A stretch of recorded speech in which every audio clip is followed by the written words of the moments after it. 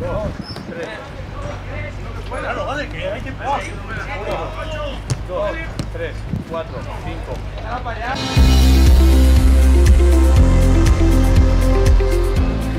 Importantísimo para, para consolidar el playoff.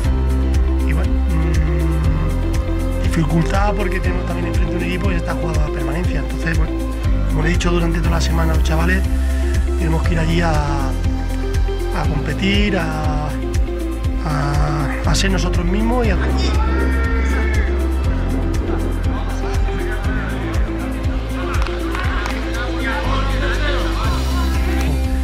que tiene una necesidad eh, muy importante para, para, ganar, para intentar tener opciones de salvación y bueno, esos partidos pues, son muy complicados, muy intensos, muy disputados.